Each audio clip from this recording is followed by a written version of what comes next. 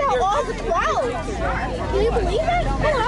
I know It's like how the moon is like a crystal and it's red. It was orange and I seen like a black, I seen the moon, but it was black. Some school districts played it safe and kept kids inside during the eclipse. It's on the diamond ring. But the students at Starms Discovery School in Milwaukee spent more than an hour watching the rare event. What did you learn before you came out here? That if you don't put the glasses on, it can like blind you and stuff and you won't be able to see. Then you really need to wear glasses.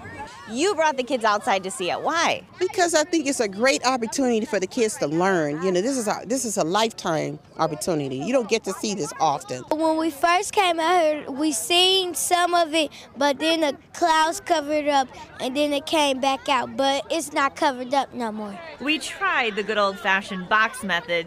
Didn't see the crescent, but got a small dot. It's exciting for me too because I have to remember that I'm still a teacher out here, but I want to look too. So, but I have to keep them in line. These aren't the only kids who got to enjoy the eclipse either. All MPS schools in session right now gave the kids glasses and took a break to watch the big event. In Milwaukee, I'm Adrienne Pedersen, WISN 12 News.